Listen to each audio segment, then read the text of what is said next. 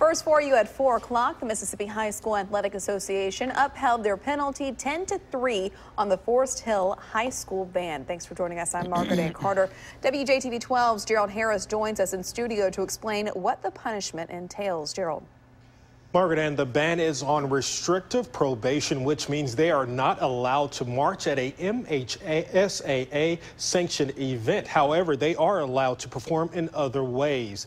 JPS school officials, city leaders, and state lawmakers appeared at the Athletic Association to show their support. However, the district's lawyer, Forest Hill's principal, and athletic director were the only ones allowed inside the meeting with the board members. When announcing their decision, the executive director, Don Hinton, said it's about the safety of the students.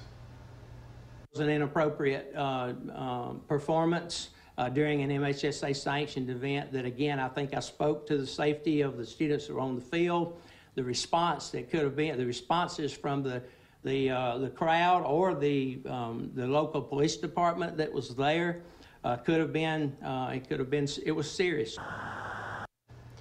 The controversial halftime performance at Brookhaven involving Forest Hill band members using fake guns to act out a movie scene around the same time two officers were gunned down prompted the appeal in the subsequent meeting. The lawyer for the school district says they will continue to fight on behalf of the students. She did not go into detail about what next steps they could take. There are, no, there are two football games left this season where the band could play in the stands. However, some JPS officials say they don't expect the band to travel to their next away game. The band will have an opportunity to play at home for the last game of the season on senior night. We will hear from JPS school board members coming up at 5. Margaret Ann, back to you.